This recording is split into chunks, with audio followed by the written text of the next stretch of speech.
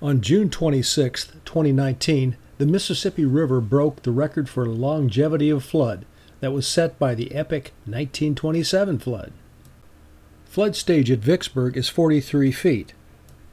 On February the 17th, Vicksburg went above flood stage, and it's still there. But it's not just the big river that's flooded. The tributaries are also swollen beyond capacity. This is the Big Black River along Fisher Ferry Road in South Warren County. This footage was shot in April of 2019. You can see there is still a pretty good current running through the river. Normally the current here is about a 2 to 3 mile an hour flow. I'm guessing it's about uh, 30 to 40 miles as the river goes to the main stem of the Mississippi from here. This footage was shot on July the 5th, 2019 in the same general area.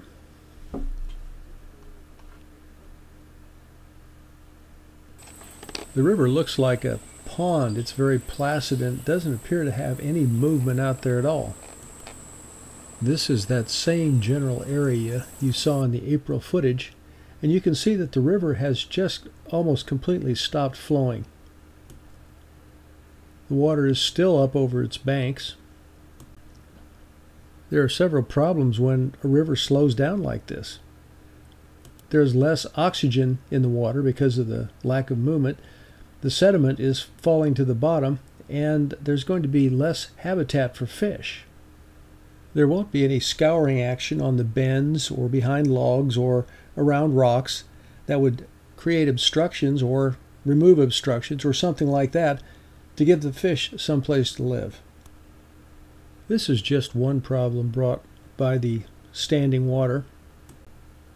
Many farmers are not going to be able to have crops this year, and it's going to be a devastating situation for many people in the Mississippi Delta. All we can do at this point is to give you our best wishes. This is Survival Common Sense. Thank you for watching.